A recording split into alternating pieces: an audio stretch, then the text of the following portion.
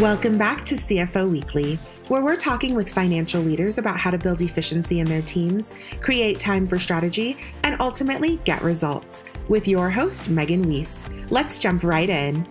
Today, my guest is Ashwath Bhat. Ashwath is an experienced finance leader with global and multi market experience with a demonstrated history of partnering with business leaders to improve financial performance skilled in FP&A, strategy, acquisitions and divestitures, commercial finance, pricing, controllership, treasury operations, and financial analysis. Ashwath participated in GE's financial management program early in his career and is a chartered accountant from India. Ashwath, thank you very much for joining me on today's episode of CFO Weekly. Thank you, Megan. Thanks for the time and thanks for having me. Yeah, today we're going to be discussing artificial intelligence and finance. It's a hot topic these days, and it's just starting to scratch the surface of what it's capable of. And I'm really looking forward to learning about the application of this technology specifically in finance and how we should be thinking about it now and in the near future. So let's jump right in. Thanks so much. Yeah, all ready to go.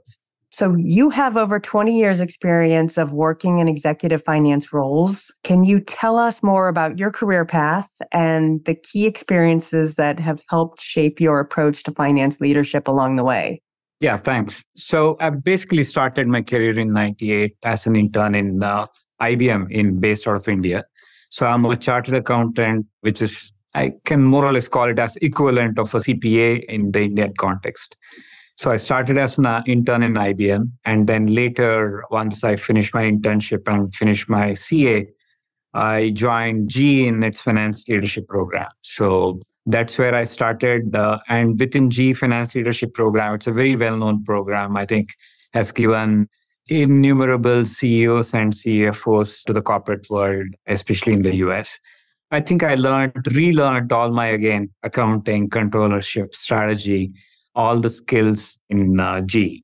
And I started uh, with GE Capital, then moved to GE Healthcare, and then I was with GE Power Systems, and finally took up a job uh, in GE Healthcare. I would say the key thing that I learned there was mainly it was around turning around the business. So the business I had undergone a kind of a shock, an accounting issue, which led to almost writing off $20 million overnight.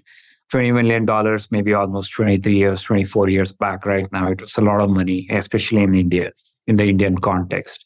So it started with a controllership issue where there was no real fraud, but it was just bad bookkeeping. So what I learned is that, yes, there are a lot of, again, accountants, but at the same time, doing basic, again, data entry properly and then analyzing and reporting is equally important because a lot of times people spend or rather want to learn about how do you analyze better how do you kind of collaborate with the business better. All those things are extremely important. But again if you don't have your basic accounting correctly done then everything else that you're going to do is just going to be waste of time. So i think i learned the importance of controllership importance of ensuring that if you have a purchase order there is no real any other verbal uh, commitment outside of the purchase order. And on top of it, cash flow really reflects the performance of the business because a lot of times profitability can be made up in Excel sheets, but cash flow or cash in the bank is a true reflection of the business. So I spent around seven and a half years with GE Healthcare in India. And then later I took up a job with IBM again in India, where I would say I learned mainly around how do you expand businesses place like india with real long-term contracts? So ibm had 10-year contracts with three big telecom players in india. And ibm also grew rapidly in that time period from around 2006 to 2010 so it was all about how do you craft a longer term deal where you go and solve the client problem across like not bothering about how much of that is for hardware or software or services or consulting. How do you kind of combine all of that and solve the client problem. So that's what I would say I learned mainly in my IBM stint. And then 2010, uh, towards the end of 2010, I joined Nielsen. I was based out of Dubai, managing almost initially around 13 countries, and later role got expanded to manage around 28 countries. So it was a geographic CFO role. From the Nielsen's headquarters perspective, it was almost like Wild Wild West. They did not really understand what are the compliance related requirements? How do you grow in all these places? Like if you just look at demographics for something like Africa, it has it's a huge continent with lots of people, lots of opportunities. But again, if you still need to get your statutory audit done on time, you still need to ensure that your vendor payments are done correctly in compliance with the local laws and ensure that there's no real fraud that's happening. So if you are operating in a country like, say, Saudi Arabia or United Arab Emirates, you are ensuring that labor compliance is in place. You have a good program around it. Uh, you are operating mainly with expats and with a specific visa, so you don't really go around any rules. So I would say my stint in Dubai managing Africa and Middle East was again more about understanding controllership and compliance while you still continue to grow the business in the sense business growth is important, but at the same time, trying to grow it without creating any risk for the overall corporation is equally important. I moved to the US in 2015, initially as FP&A for Wolof Nielsen. So that's where I learned a lot about how do you manage a public company FP&A. So starting from giving guidance, working with the investor relations team, preparing for board meetings, preparing for quarterly earning calls so it was a great education in terms of how do you manage finance for a public company. So working with the CFO and working with the CEO of the company quite closely, it was a great experience for me. Then I took some of the divisional uh, CFO roles within Nielsen, which was again very helpful. Like Nielsen bought a company called Gracenote from Tribune Media. It was a large acquisition with more than 2,000 employees and more than $200 million of revenue. So, how do you integrate a tech company into a company like Nielsen, which is technology oriented, but at the same time, been around for almost 95 years at that point of time? How do you integrate a West Coast tech company into a company like uh, Nielsen, which had a lot of legacy technology? I think that was, again, a very interesting uh, experience. So, it was all about M&A and integration. In all the roles that I talked about, I have constantly focused on getting growth along with profitability. So that goes without saying. But in terms of, say, acquisition of Gracenote and integrating that within Nielsen, so it was a great M&A experience for me. Post that, I have done finance transformation roles. How do you upgrade your old SAP to SAP S4 HANA? Or how do you implement Workday or any kind of cloud-based software for HCM or HCM system? And also when the pandemic started, how do you kind of really flex the cost muscle and ensure that like you kind of right size the company to take care of like headwinds in terms of revenue. So that was what I did with Nielsen. And last two and a half years, I've been with Fractal, which is a AI and analytics company.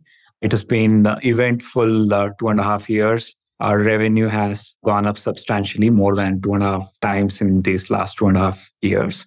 We work with mainly Fortune 500 companies solving them or helping them build algorithms to solve their day-to-day business problem. When I say day-to-day business problems, it's important problems like revenue growth and reducing their cost and becoming more efficient. And how do they ensure that they digitally transform themselves and get ready for the challenges in the 21st century? So that's what my company does. And uh, purely from finance perspective, like as I said, we have managed tremendous amount of growth partnered with business to improve profitability again worked within with every other stakeholders to improve our own internal systems to get better lead indicators kpis which really help us run business in a much better way.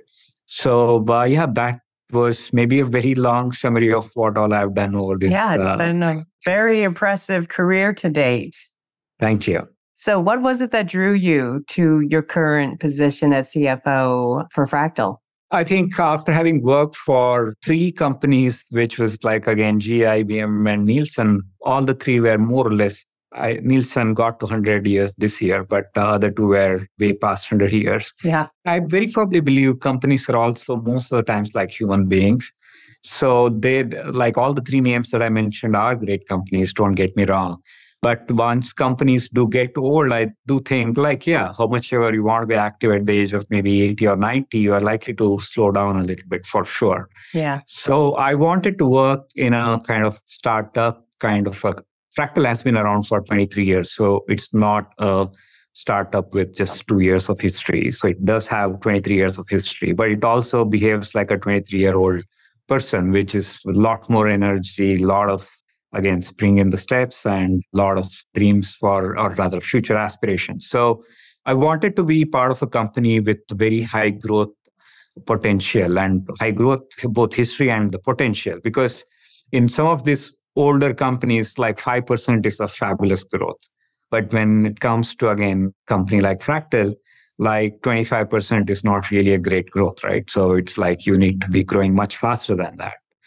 So I think the growth potential of the industry and the company. And then second, I would say is the culture. I think Fractal has a very unique client focused culture. And like it's very easy for every company to say that, yeah, we are client focused. I don't think there is any company which says that they are not client focused. But it's also about the culture that kind of manifests on a day to day basis.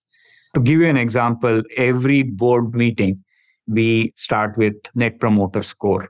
So we don't really start with, say, revenue or profitability, etc. Yeah, we do discuss all those things, but at the same time, we always start with net promoter score.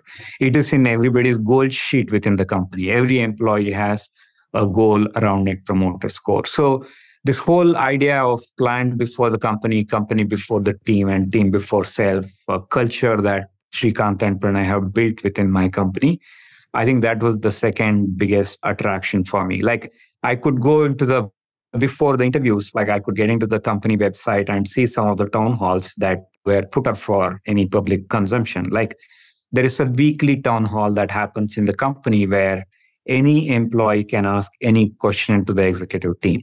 So it could be a simple thing like something around reimbursement policy. It could be something like compensation related question, or it could be around the, strategy of the company. So I would say the growth potential and then I would say the culture were the two main things that drew me towards Fractal. Sounds like a wonderful place to work. So, how do you think the role of the CFO has evolved throughout your career? And what does the profile of a modern CFO look like? Yeah, I think that's a great question. So, if you really look at the CFOs of the past and CFOs, ultimately, some of the KPIs, or rather, what a CFO is trying to do is maximizing shareholder value and stakeholder value. I don't think that has changed in the sense, and if you take CFO maybe 50 years back and now, I don't think that has changed much. Ultimately, you want to ensure that every investment that has been put by the company you get maximum out of it. But what has changed is, I think, again, the tools that are available uh, for us to get. Like when maybe when I started in '98, we used to run payroll. I used to run payroll for Siemens local branch using Excel. So I think Excel sounded like a wonderful tool because my first job, rather the first day of my training in a chartered accountancy firm in India, was to take a local telephone directory and adding up all the numbers, the telephone numbers in each page. Wow. So using a calculator. So that was done to kind of check the calculation skills of a person. And so obviously the total was always somebody had the answer sheet. So they would check, okay, how good are you in terms of calculator? I think from there, where we have come right now with Gen AI, I think it's a long way. So what I'm saying is the tools that people had, I think that has changed drastically. And I recently signed up for myself for uh, advanced Excel training. So again, advanced Excel may not sound very sexy right now, but again, what the tools that are available have kind of evolved drastically over a period of time. And CFO initially, there was a lot more focus on controllership and getting the audit done, right? In the sense, okay, you are ensuring that the balance sheet is clean, the P&L is clean, and auditors are happy, and the controls are in place. Your cash flow and the cash management is in place. So I think that was the more of the focus, obviously, along with taxation and tax planning, etc. But right now, CFO is definitely expected to be part of the leadership team driving the strategy of the company and even the execution. It's not just strategy. And strategies, again, not to confuse strategy with planning. So strategy is all about the choices that company needs to make, right? It's all about where do you want to play and how do you want to win versus say detailed steps. So I think CFOs are now very much involved in strategy. So it's not saying that, okay, if it is revenue growth, it's not just the CRO of the company who is involved in that. CFO is equally involved. And then any investment. So every investment and what's the ROI on those investments. So I think you are a equal both a stakeholder and then a decision maker within the company. So I would say the tools have changed dramatically over a period of time. There's a lot more automation than what was there much before. And the expectations of almost partnering with the business has changed dramatically uh, over a period of time. And how do you think the evolution of technology and cybersecurity is impacting businesses? And how can CFOs ensure that their finance functions are flexible enough to deal with these rapid changes and increasing threats? Yes, I think cybersecurity is very important. Again, both data privacy and cybersecurity are going to be more and more important. Like, obviously, with the technology evolution, now everything is on the cloud, and which means that with the connectivity, there are a lot more hackers who want to kind of get hold of your data and destroy the credibility that you have with your clients or with your customers for a ransom or whatever. So they there's a saying, I guess, in cybersecurity saying that it's not about when you will be hacked. It's uh, or rather, it's not about whether you're hacked or not. It's more about when you will be hacked. So it's something that you should assume that I think all of us as CFOs or any CXO should assume that it's going to happen someday. So, what plans do you have? What kind of disaster recovery you do you have in place? Backup system do you have in place? What kind of further mitigation? Like all the cybersecurity tools, right? Which obviously trying and avoiding. How do you create zero trust environment? Zero trust, just the word itself is not a great word, but at the same time, when it comes to cybersecurity, I think building a zero trust environment is extremely important. So I would say it's about we should all be prepared, assuming that it's going to happen to us at some point or the other. And what are the next steps if it were to happen? So, how are you going to kind of react to it? I think be prepared for that.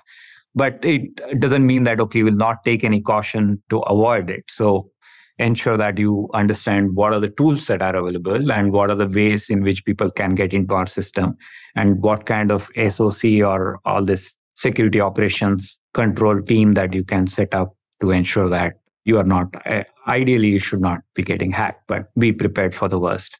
Yeah, it's definitely a scary place. I mean, they're getting very sophisticated and the frequency seems to be increasing with which they're trying to wreak havoc.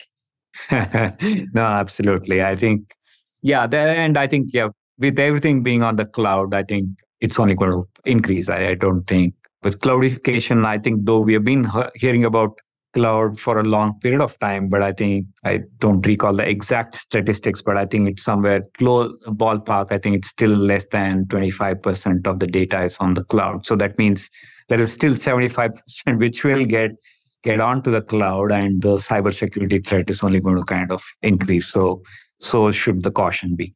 And in your experience from working at an AI tech firm, how can AI aid finance leaders?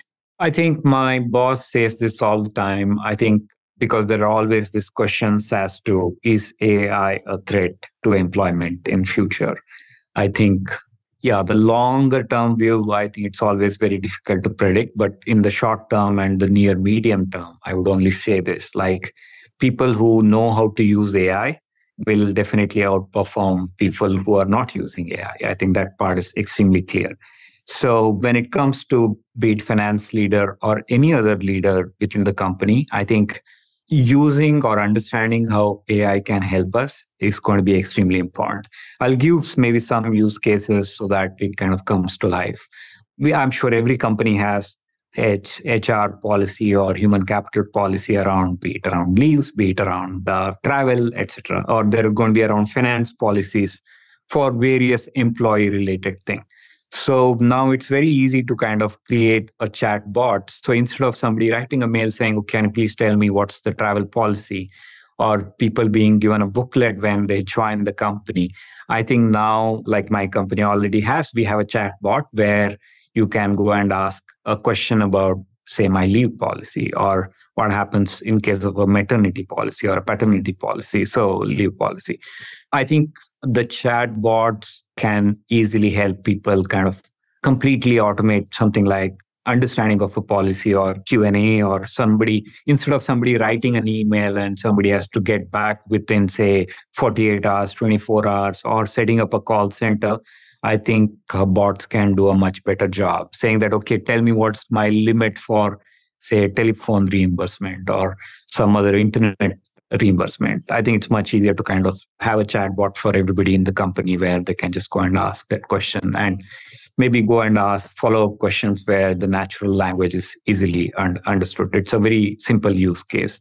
Then, like again, even applying for leave, for example, even within my company, I can just go to the chatbot and say that I'm going to be on leave for three days next week.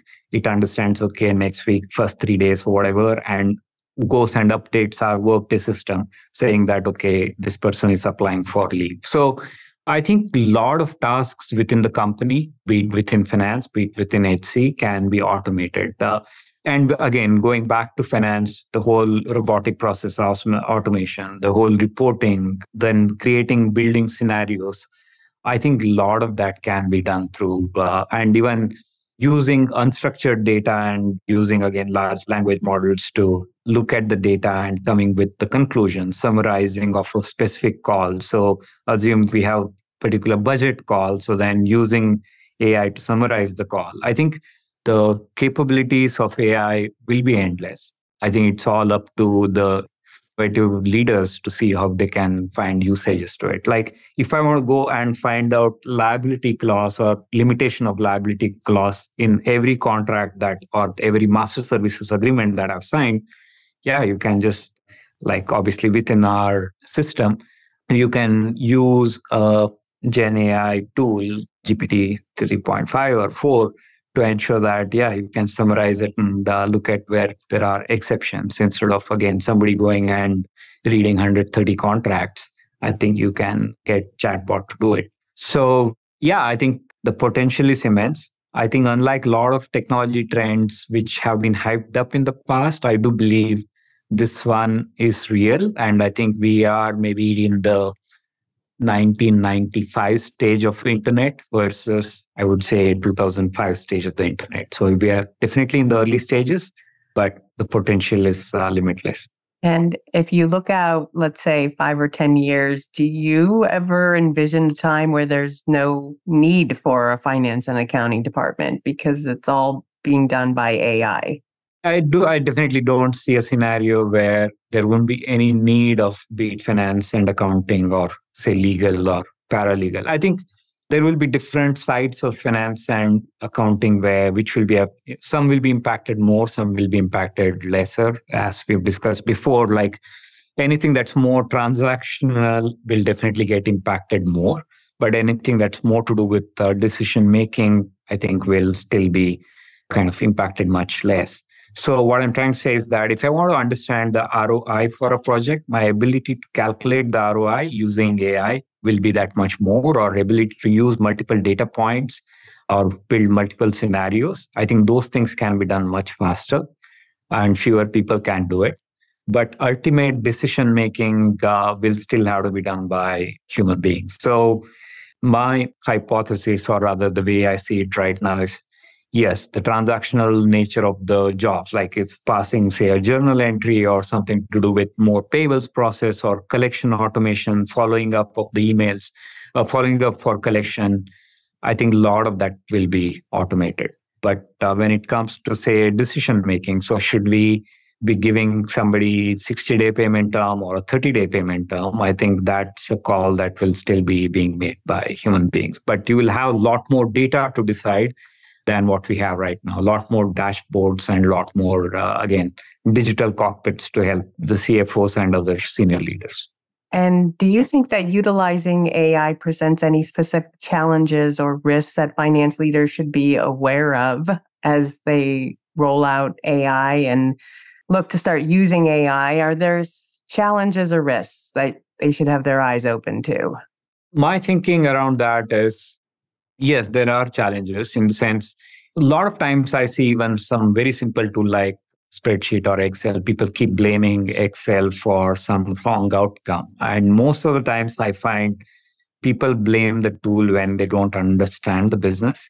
I think over reliance on any tool without understanding the underlying nature of the business, how clients react, how ultimately everybody's in the business of delighting their clients or customers.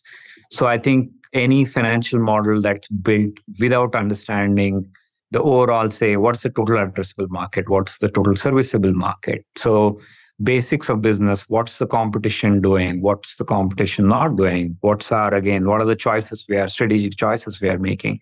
So anything that's being built just by say taking a tool and uh, putting an algorithm and just extending the algorithm over reliance on a tool without understanding the core business i think always prone to fail and i think it's already like i've seen that happen even with some basic tools that are there right now. When I say basic tools, I mean like CRM or ERP or things like that, which are, if you were to call them pre AI automation tools or digital uh, digital transformation tools. They did drive a lot of productivity, but at the same time, if you don't understand the business, however smart the outcomes are there from AI, I think you'll end up with the wrong decision making. That's really good advice. I guess it kind of comes back to garbage in, garbage out. yes, absolutely. I think that's well said. And uh, and also, I see within the company, I think getting this whole data flow and understanding them clearly for a CFO is very, very important. Again, it goes back to the concept of garbage in, garbage out. But what I've seen happening, especially in functions like finance, there's so much of focus on strategic finance being a partner for the business believe me, those are absolutely very, very, very important.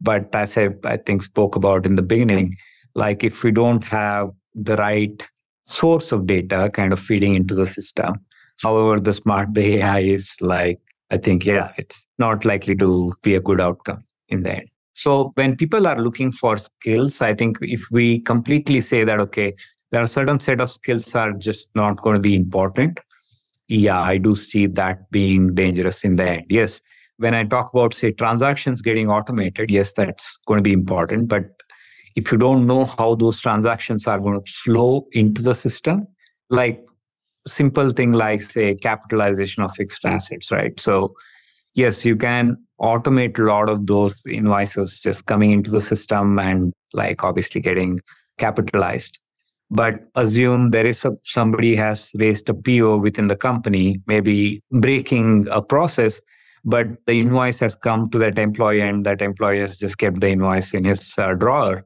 I don't think, however, the great the systems are, you are unlikely to find that out. What I'm trying to say is, so the basic controls, the principles of audit, I think those things are equally important. If uh, technology will not solve all the problems and what's your strategy for managing and balancing the costs of innovation and growth, including yeah. the financial demands of high cost tech departments? yes. No, thank, thanks for that question because I think today, just today, I was discussing with someone like every SaaS business, I think obviously measures what's the CAC versus LTV, right? All everybody wants to look at okay, what's my customer acquisition cost versus my lifetime value for every client. But when it comes to spending, I've seen rarely any of the finance professionals looking at, okay, what's my lifetime spend? If I get into a SaaS contract for any solving any business problem, I would say if you say get into a million dollar contract a year, a lot of times we tend to focus only on say a million dollars.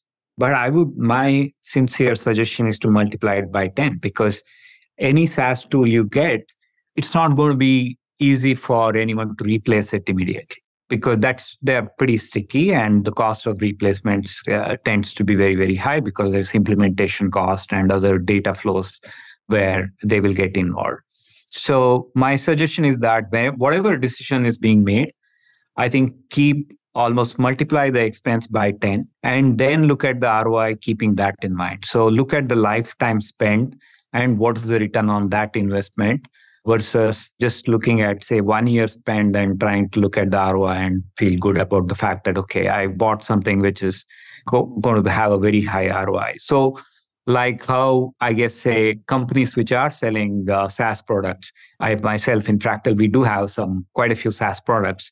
So yes, we do look at our CAC to LTV pretty carefully.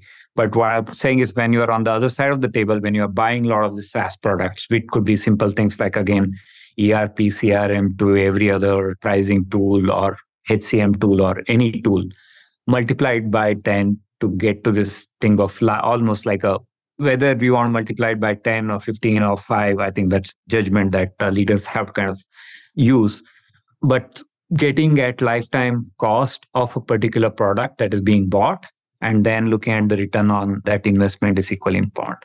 And getting so now i'm only covering say when you talked about say high tech cost departments i know a lot of times the high tech cost of the department comes from the people cost within that I have learned long time back that every expense in the P&L needs to be looked at as investment. So in the sense, every expense in the P&L should have a justification as to why it should exist. So that's the basic foundation for a zero-based budgeting, right? Not saying that okay, I spent two million last year, so this year I'll spend uh, 2.1 million. That's that uh, anybody can do that in Excel. But every that two million in my example again every dollar in that needs to be justified with what's the return on investment. So I would ask the same question whether buying a SaaS tool, whether somebody's just hiring people or have already existing people, what is the real return on investment? Again, looking at the lifetime cost, I think is going to be very important because we are always very good at multiplying the benefit by various years or multiple years. The benefits are always multiplied by various years to arrive at the ROI, but pretty bad at multiplying the cost by various years to arrive at the ROI. I was with somebody yesterday who said cost is like nails you have to keep cutting it otherwise they keep growing so i think constantly keep looking at them is very important and speaking of cost cutting, so we're in the midst of some pretty challenging economic times. So, do you have any strategies to prepare for and manage during economic downturns? Great. So, again, going back to my cybersecurity, what I was talking about, you should always be ready. I think economic downturns, and they're like ultimately, if we all live in a capitalistic society or capitalistic economic framework. So the downturns and the boom periods are kind of they're part and parcel of the same thing. So I believe every CFO should constantly have should be ready with a plan A, plan B, and ideally even a plan C for economic downturn. So that's where scenario planning generally helps a lot. So for scenario planning, it's always like saying that, okay, what happens if my revenue grows at say 10%? Versus what happens if I'm at, uh, say, flat versus, say, what happens if my revenue really declines.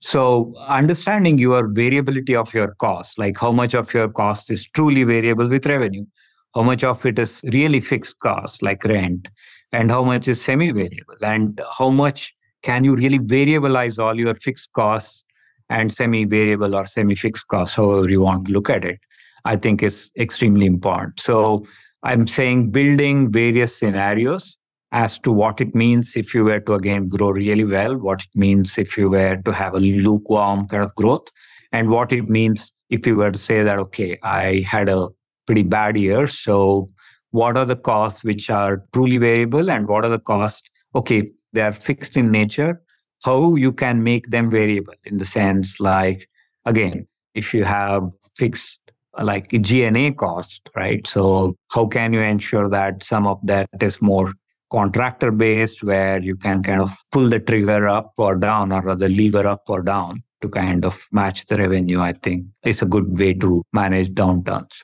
One more thing I'll just say about the downturn is it's also equally important to understand what's happening with the competition. So it's uh, important to also invest ahead of time, especially in downturns when everybody's cutting costs.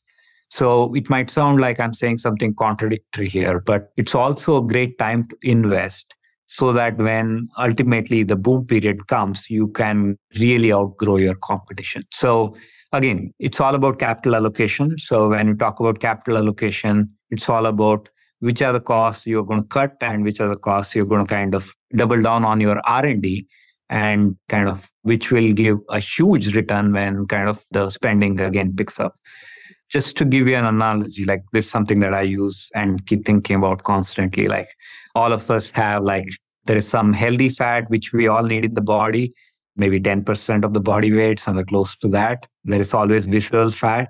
And then you have muscles, like all of us have muscle. I've always looked at R&D spending or even cost of goods delivery or COGS. It's like a muscle, right? It's something that's very important for the bodily function. A good amount of healthy fat is like a G&A that's absolutely important so that the company works very efficiently. And you should constantly be going after visceral fat, which is not the best thing for any human body. So I have always looked at as wastage as visceral fat, which people should constantly be going after.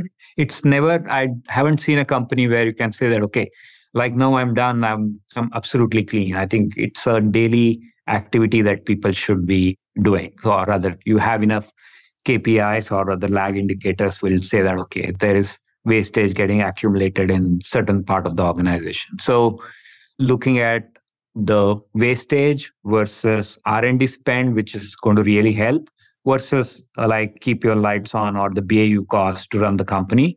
I think looking at the cost into these three different buckets is generally very helpful. And do you have any advice for CFOs on how they can keep up to date with rapid technology changes and increase use of AI?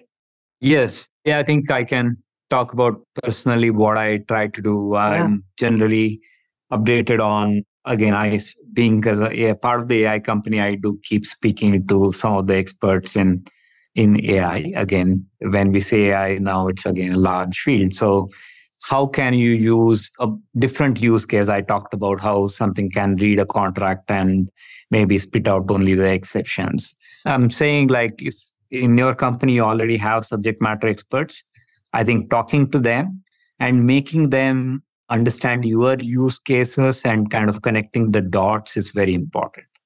If not outside, I would say like I do listen to a lot of podcasts relating to AI. Again, Lex Fridman is somebody who kind of comes to my mind immediately.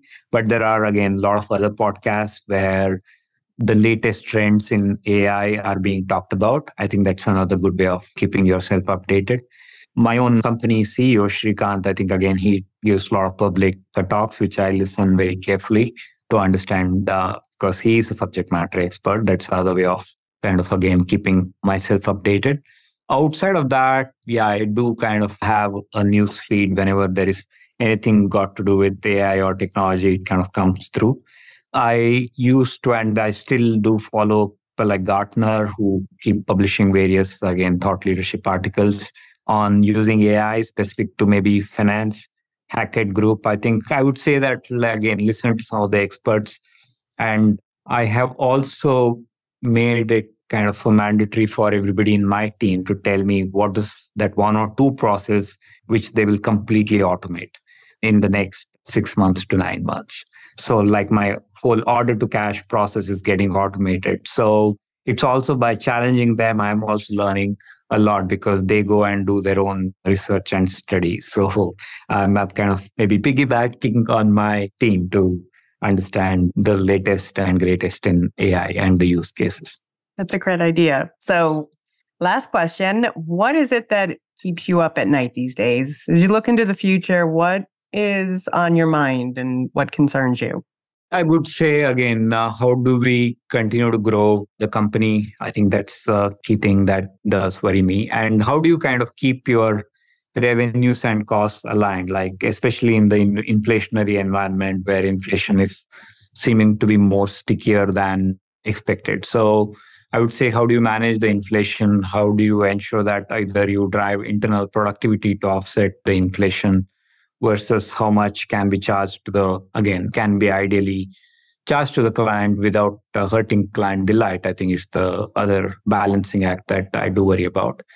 But ultimately, it goes back to are we as a company keeping ahead of some of our competition to delight the client is my, I would say it's a, both a concern and uh, something that excites us and excites us and uh, gets us to work on a day to day basis that will be as long as you're taking care of the clients and really delighting them. We also have one of our goal statements is to deliver a billion dollars of value to each of our clients.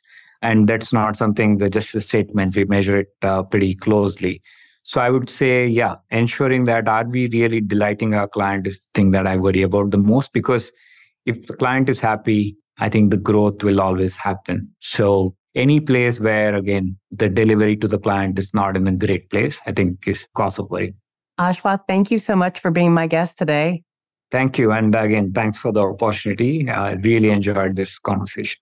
Yeah, me too. I've enjoyed speaking with you, and thanks for finding the time to be here with us today to share all of your experience and knowledge. I wish you and Fractal all the best. You're both doing very exciting things to shape the future. Thank you. Thanks a lot, Megan. And to all of our listeners, please tune in next week. And until then, take care. If you're ready to boost efficiency and streamline your accounting processes at significant cost savings, it's time to talk with Personiv. Their people powered solutions have transformed the delivery of back office tasks and general accounting functions for decades, partnering with clients to provide everything from accounts payable to payroll services. See what Personiv can do for you by visiting personiv.com. You've been listening to CFO Weekly, presented by Personiv. Please subscribe wherever you get your podcasts to hear all of our episodes. Want to learn more? Check out personiv.com. Thanks for listening.